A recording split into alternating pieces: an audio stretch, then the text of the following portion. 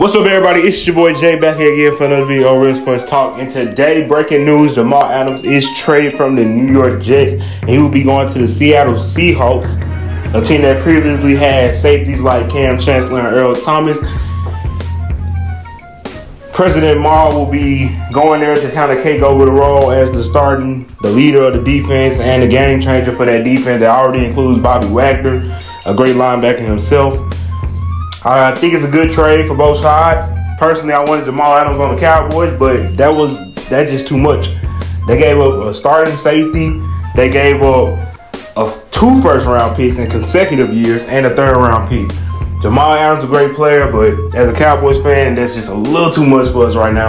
As we already got a lot of talented players on the field, and we already really good at drafting. So two first round picks would have just been too much for us to give up.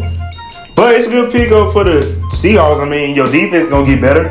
Um, Seahawks ain't good at drafting anyway, so nah, I'm just playing. I'm joking. But um, you know, so you know they didn't really need them two first, and they in a good situation. You know, their defense gonna be better. The offense look good. I think this makes Seattle a better team. I think this makes Seattle a team that you at least got to look at in the NFC as a, in my opinion, NFC championship contender. You know, dare I say.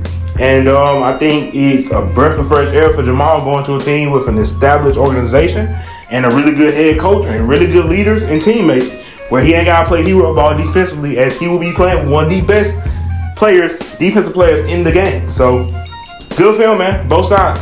That's all I got to say about it. Peace.